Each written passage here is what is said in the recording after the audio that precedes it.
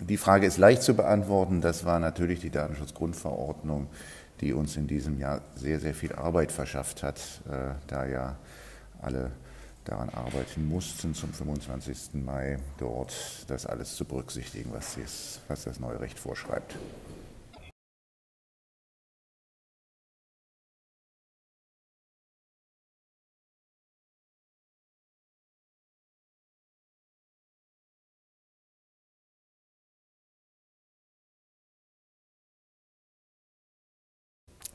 Das war das Verfahren, das die, das die schleswig-holsteinische Landesdatenschutzbehörde seit 2011 geführt hat.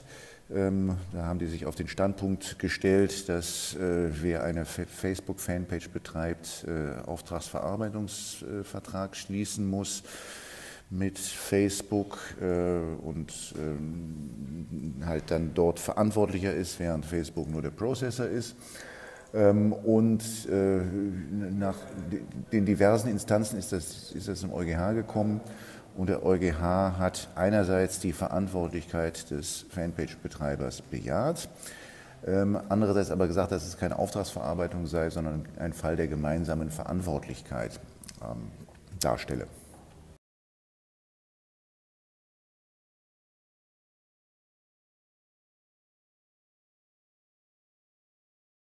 Das Urteil ist, dürfte für, für, für die, Fälle, für die es gilt, weniger spektakuläre Auswirkungen haben, als es auf den ersten Blick scheint.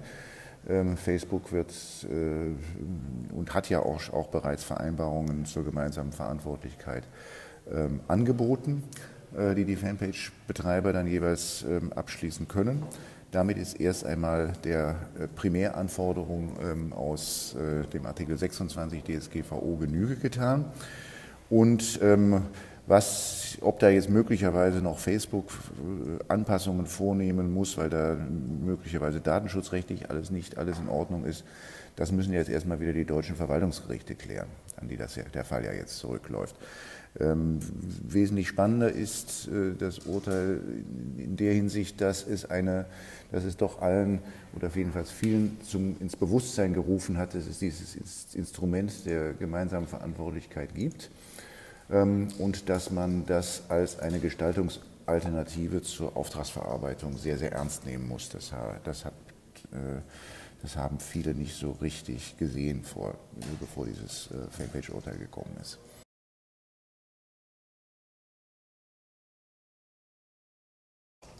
Facebook-Fanpage-Betreiber brauchen eine äh, Vereinbarung nach Artikel 26 mit, äh, mit Facebook und das wird ja von Facebook jetzt auch angeboten.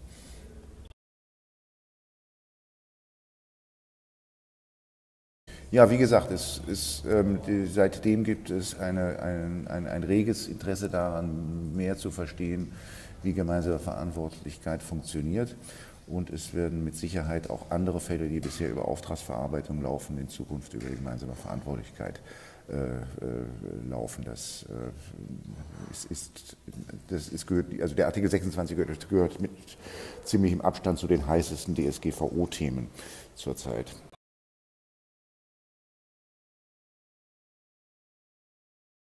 2019 äh, wird wohl vor allen Dingen spannend, was dann nach der Europawahl sich die neue Kommission wiederum alles vornimmt. Und ähm, zu hoffen wäre, dass man noch einmal äh, E-Privacy überdenkt.